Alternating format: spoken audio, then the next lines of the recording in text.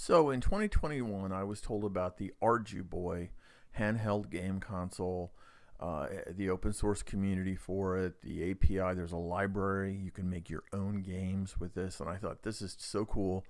I want to get one. So I went to the website, and at the time, they were sold out. They did not have any being made anymore. There were no plans for them. So it looks like as of today, they have a new one called an Arduboy FX. And I'll kind of want to point it out to you if you're interested. Um, it's going to, looks like it's a pre-order, ship in March 2022, $54. Comes with uh, 200 unique games. So I'm assuming this has got a built-in ROM or something. Well, at the time this didn't exist. So I went online, eBay, and yes, I found some used ones, but they were way too much money. I went to the Midwest Gaming Classic looking for one, a used one. Couldn't find one there either. So long story short, instead instead of spending you know a couple hundred bucks, I went ahead and bought this Keyestudio 1.3 inch uh, Arduboy clone, and Santa uh, put it under the tree for me, and uh, I'm gonna open it with you today. We're gonna put it together and take a look at uh, its quality, um, and see if we can get some games going on it. All right, see you over at the bench. All right, so here's the box it came in.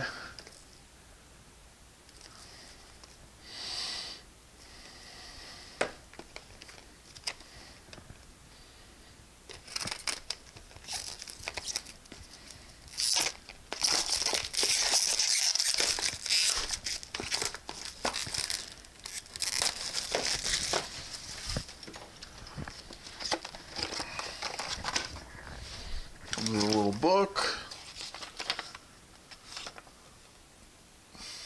Basically showing the parts, how to put them together.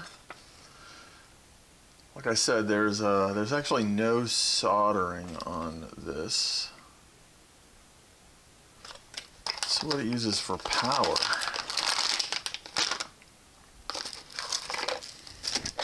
Comes with a little Phillips screwdriver. Ah, looks like it's got two AAs. Interesting, two AAs, that's three volts. Let's take a look at this thing.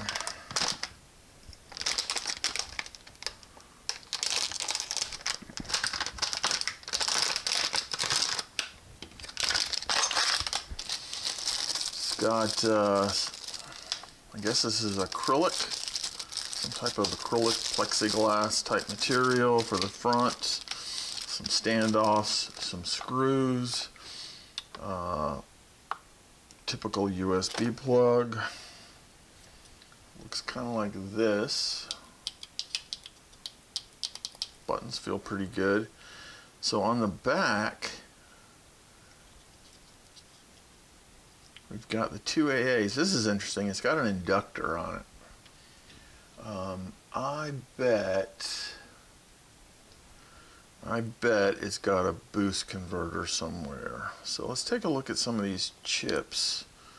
We'll see what we got. Uh, that looks maybe like a reset button, on off button. All right. So let's just go ahead and put this thing together now not be too difficult. I mean, heck, it even came with uh, its own Phillips. So, we've got plexiglass. Peel this stuff off.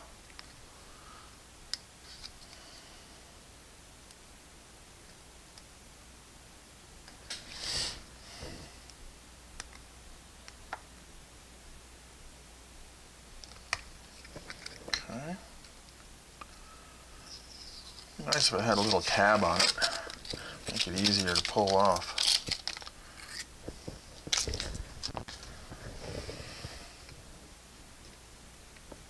It's not too bad though.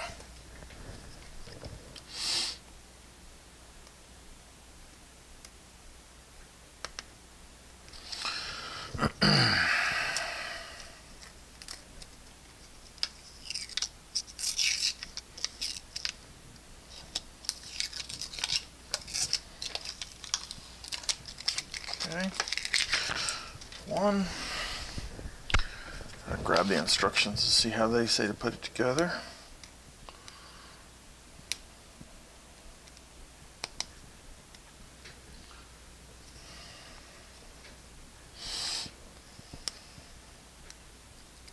I'm surprised they went with uh,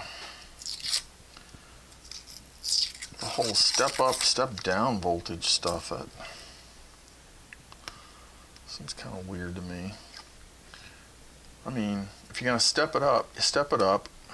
I guess they don't have. I guess the display doesn't come in a 5 volt version, but I would be surprised if the um,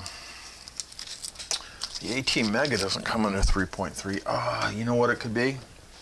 The um, speed of the microprocessor, depending on how fast you're running it, it probably needs a different voltage. So that might be why they have to step it up. Like if you want to run it at 10, or it might be 16 or 20 or something like that. Um, okay.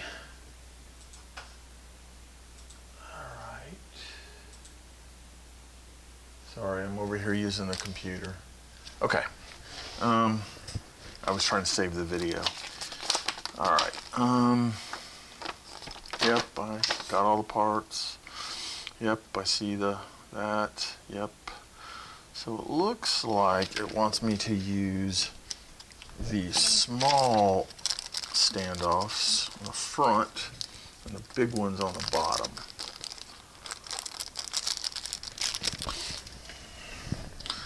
So, and then in terms of screws,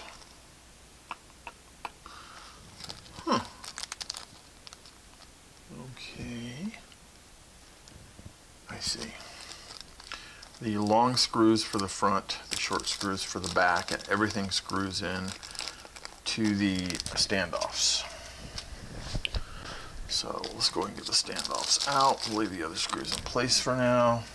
I'm going to take off the plastic. Some people really like that. There you go. All right.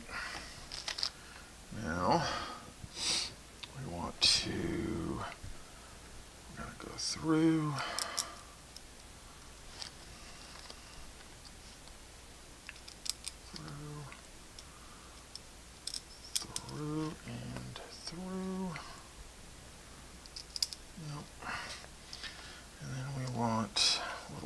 plastic here.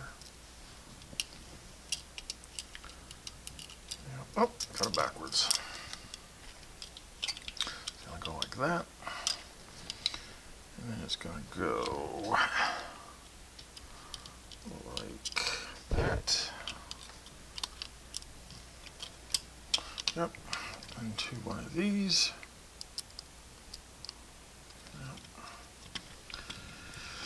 Same thing, if you can't see what I'm doing, I'm just sticking one of these spacers underneath. Get it aligned. The screw to go through it, then I'm tightening off this additional standoff.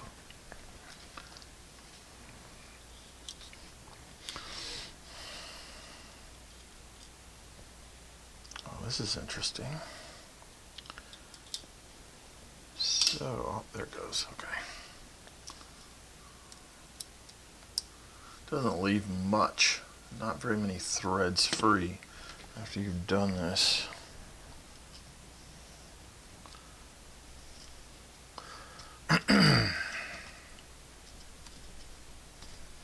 Obviously, if you're, if you're still watching, you can always fast forward past this part. I'm almost done. Obviously putting it together is not very complicated. We'll go over here in a minute and install something on it. Okay.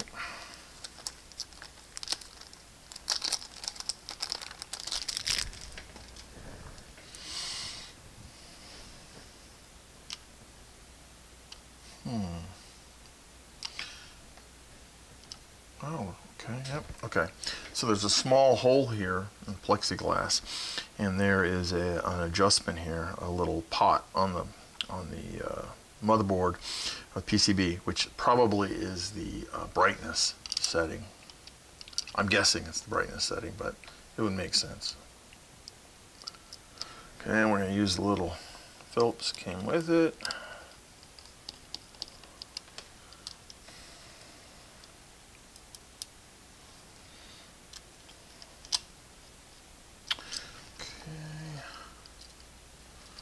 Let's loosen this one up.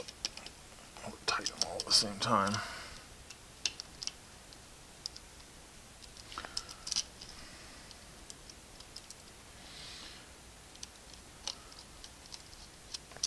Okay, and one more. I should keep looking up at the camera to make sure it's something you can see. I've got everything positioned. Okay. Let's flip it over, tighten these up.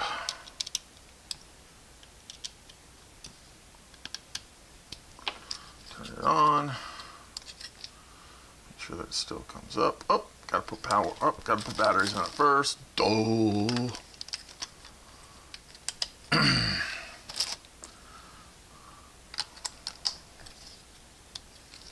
Alright, came up showing on the screen something. Again, you might not be able to see it that well. Okay, so let's go ahead and look under the hood here. I pulled the back off.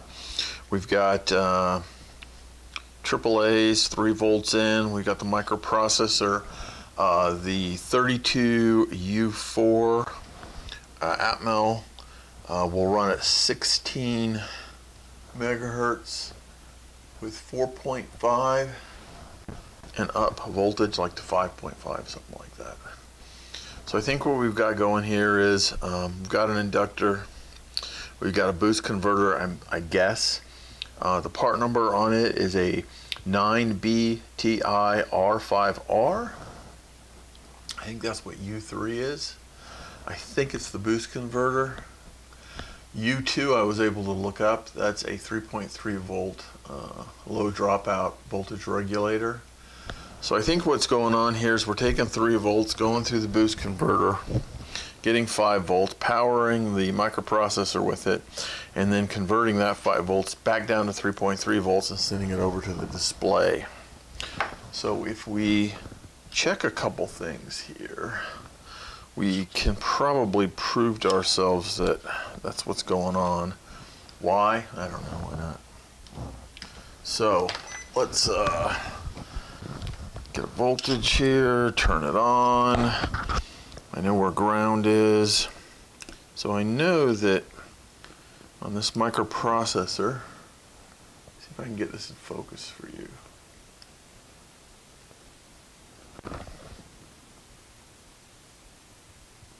So on a microprocessor, this chip here should be VC. Yes. And I'm getting a 4.9 readout. So if I go over to the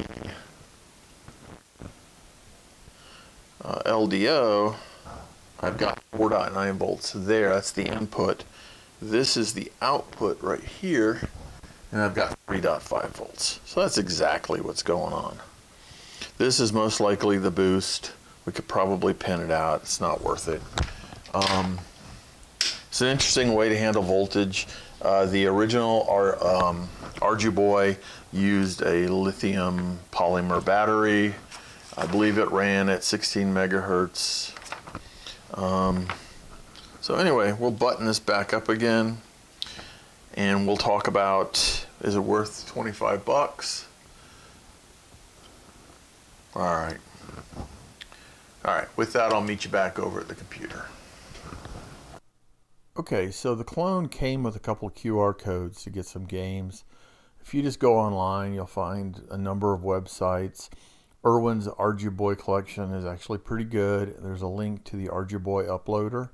So I downloaded that and installed it.